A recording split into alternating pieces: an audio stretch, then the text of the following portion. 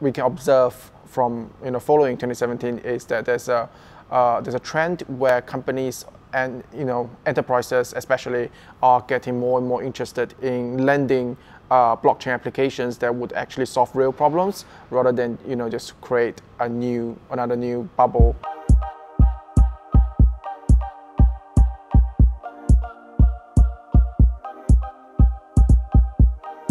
So in 2019, we will see more and more uh, enterprises adopting blockchain, and we'll also see more and more um, bigger players coming to the blockchain space and opening up their blockchain technology to, to enterprises, to startups, and to uh, you know anyone who actually can benefit from the technology. So I think the public bodies are being more open to, to blockchain. They're increasingly getting interested in blockchain as you know there are more use cases, there's more you know proven track records of applications and actual use cases being implemented.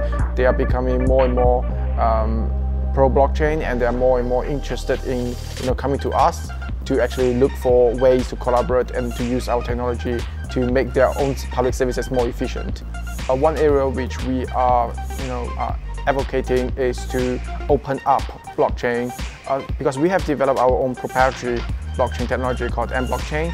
But at the same time, we believe that it's it's only right to build an ecosystem where you know startups or other uh, non-technological players can actually join us to benefit from blockchain. I think um, the environment here in China is actually quite pro-innovation and there's a lot of support uh, from the relevant bodies and also from the industry organizations to push for uh, you know blockchain development and also for uh, blockchain applications across different industries. So I think it's more of uh, a, quite a strong push for uh, blockchain to develop in a healthy way currently in China and it is not uh, something which we, we are afraid of. Yeah.